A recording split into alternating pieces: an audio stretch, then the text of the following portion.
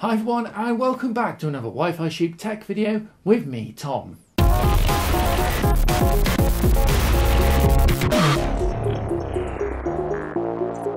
Now, a few months back, some of you may remember I did an upgrade video on my iDent Micro 1. That's the kit computer I produced a few years ago, but kind of simulated the kind of look and feel of a 1980s all-in-one micro. Fortunately at the time, that kit had been discontinued, but I was overwhelmed with the interest in the kit and people asking me would I consider reproducing it or people saying they wanted to go and build their own and they're inspired by what they saw. Well, if you're still interested, you're in luck as today I'm pleased to announce the reissuing of the Micro 1 kit in the form of the Micro 1 Mark V. However, unlike previous kits, this one has a bit of a twist. You don't need any fancy equipment, you don't need to buy any expensive components from me. You can simply download the plans from our Patreon page for a small fee. This is ideal if you're wanting uh, a home project or a STEM project for school or college the materials are easy to come by, they're recyclable, they're disposable. You can simply take the expensive parts, such as the keyboard and the Raspberry Pi, out and reuse them over and over again. It really is an ideal solution. I am so excited to be able to bring this to you right here today. So, with that said, let's get building.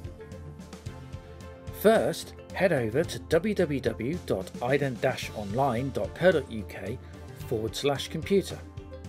And from there, click on the Micro 1.5 tab.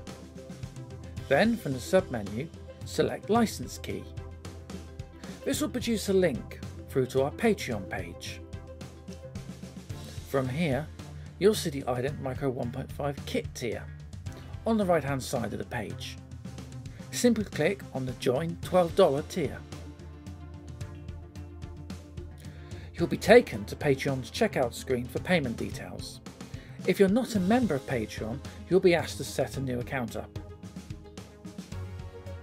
Once payment has gone through, return to the main Wi-Fi Sheep Patreon page, where the $12 tier will be unlocked. Click on the Micro 1.5 license key. This will give you the full listing, including the required license key for the PDF download, which was scrambled for this video. Copy the key or write it down. On the same screen, there is a link back to the PDF files on ident-online. Click to return to the main site. The PDF downloads page has two options. A free sample PDF, which contains just the instructions, and the full encrypted file. Click to download the full PDF. Most modern browsers will try to open this file for you, Next, enter the key you were given from Patreon and click Submit or Continue.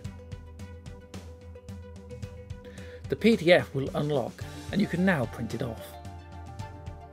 The last four pages of the PDF contain the cutout parts required for the build, so it's up to you if you want to print the whole document.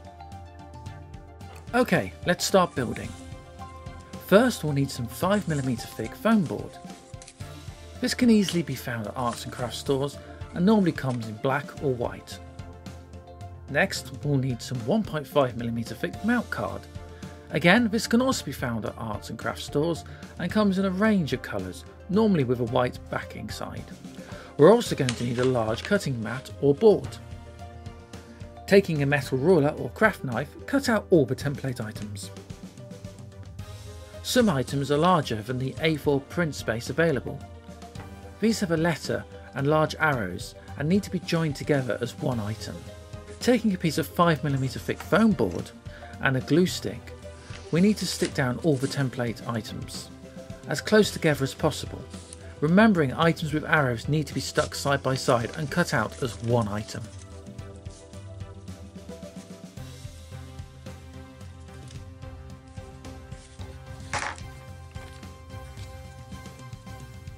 So we'll just finish by adding the top C labelled items together. Okay, we'll repeat the process for the 1.5mm trim parts. These need to be cut and stuck to the thinner mounting board. Each item is labelled as to which board type it needs. Next we'll cut out all the shaded cut out internal areas, again using a metal ruler and sharp craft knife. Use a 2mm drill bit to make the required mounting holes for the bolts. The two outer supports have a hashed line. If you're using a smaller keyboard and so need the mounting plate, leave these. However, if your keyboard just fits the case, then you can cut along the line to lower the slope height. With all parts cut out, it's time to fire up the hot melt glue gun. Each item has a number, so it's just a case of fixing each to each. So starting with the rear case support, item number 3, when using hot melt glue you do need to work fast. We can use the end of the metal ruler to make sure the parts are straight and square. We'll repeat the process for the two case sides. Remember, all parts should be fixed with the paper labels facing inwards and numbered parts fixed to their adjoining number. Okay, with the case more or less complete, we can test fit the keyboard mounting plate and the case lid. Yep, starting to take shape. Now, the keyboard surround is marked out for the common mini keyboard.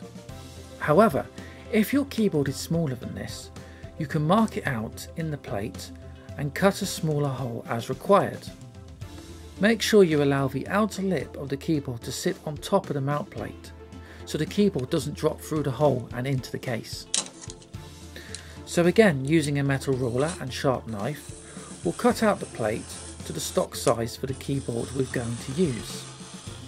Okay, so we'll just check the keyboard fits, but we won't fix it in at this stage. For the next part, I've moved to the garage and I've set up ready to spray paint the required items. First, I'll give the 1.5mm card trim a coat of yellow, remembering to paint the outer parts, so not the sides with the paper template still fixed. And then the main case chassis and keyboard surround, which I'll paint a matte black. You don't have to paint if you can't or don't want to, and of course you can pick and choose whatever colours you want to use.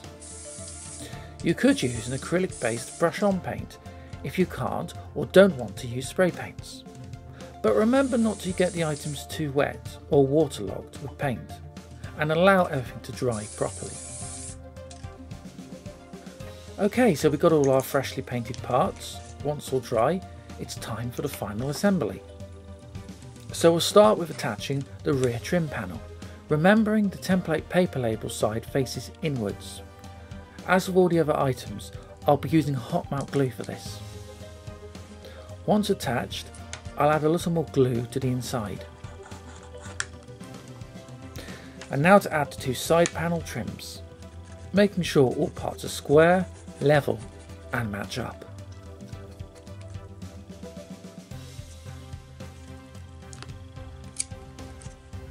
Next, we'll attach the keyboard to its mount. Placing the mount plate with paper template facing upwards, we'll attach it to the plastic of the keyboard case with a few spots of hot melt. There is no need to overglue this, and keep the glue away from the top of the keyboard and the keys themselves. Okay, just check that's all secure. And we'll do another test fit into the case, but we still won't glue it in place just yet. Next, we need two short 12cm USB extender cables. The two socket ends of the extenders need to be glued into the holes in the rear trim. Again, be careful not to get glue inside any of the USB sockets. We'll just repeat the process for the second of the cables.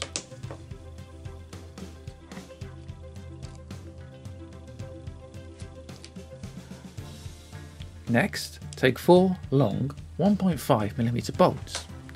Each bolt will require three nuts. Place the four bolts through the holes drilled in the case and screw two nuts onto each bolt to secure it in place.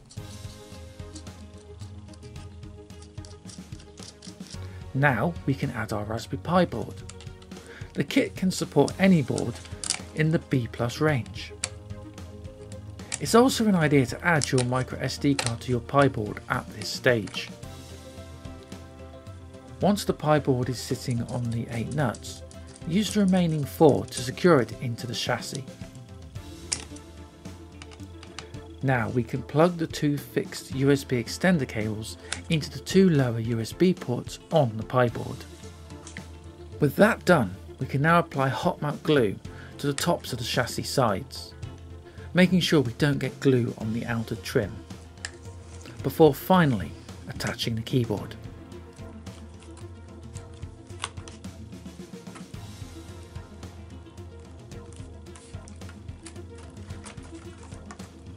With the keyboard in, we just need to plug its USB lead into one of the two spare top USB ports on the Raspberry Pi board. Once done, the case lid should friction fit in place. This won't require gluing. Finally, take four self-adhesive felt or foam feet pads and attach one to each corner of the underside of the case. This will raise the Micro One off the ground, allowing for better ventilation when running. And there we go! A super inexpensive, own build 80s retro feel, Pi powered home computer. Complete with power, HD video, AV socket, and twin USB ports on the rear. And access to the Raspberry Pi GPIO pins through the top of the case. So, I guess there's only one thing left to do, and that's see if it'll power up. And yep, seen here with a wonderful clashing pink LCD monitor and running our custom RISC-OS operating system. And there we are, all set up, built and running. I just want to say a huge thank you for those of you that have already supported us on Patreon. If you're interested in the kit and want to get hold of the plans, it's www.patreon.com forward slash Wi-Fi sheep.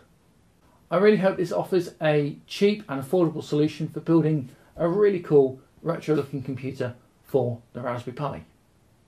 Okay, well that is just about it for me. As ever, don't forget to like and subscribe. Thank you so much for your company once again, and I'll see you real soon right here on the channel. Until next time, bye for now.